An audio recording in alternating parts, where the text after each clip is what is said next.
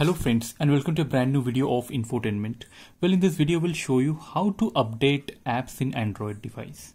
So straight away let us see how to update apps. For that you have to open your Play Store first. I'll open my Play Store. Once you open your Play Store you have to sign in to a Play Store if you haven't done that yet. So you have to sign in to a Play Store. I'll make a separate video how to sign in to a Play Store. For now once you have signed in go here just click here and you can see manage app and devices. So once you do that uh, so here you have to press manage apps and devices. You can see here in the second option it is coming updates available. So you can see there are two options like see details or update all. Uh, if you want to go to that particular app or find out those particular app where updates are pending and you need to update you can see details here. Once you do you can see a lot of apps here which needs update almost 50 apps.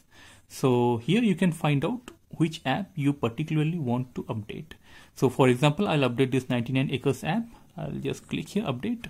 And you can see 23 MB it will take to update. So while it is updating I just want to say you that this updating of app okay it has been updated very fast. So you can see how easily apps are updated on Android by going to the Play Store. So similarly, you can do uh, for other apps as well. And those apps which are not reflecting here has already been updated. So friends, uh, before we end the video, I just want to uh, I just want to say you that uh, updating apps are a very important thing. If you update, keep your app updated, it will have the latest security features as well as other features which may not be available to non-updated apps. So kindly update the apps that you're using it frequently so that you get the latest features as well as the latest secure features or security features as well which will protect your mobile.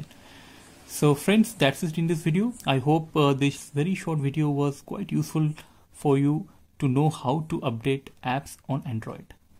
So friends if you found this useful please like this video and share this across various platforms so that many people come to know of these steps how to update apps. And please don't forget to Subscribe to this channel Infotainment to get more of such little little technical videos to make your digital life simpler and easier.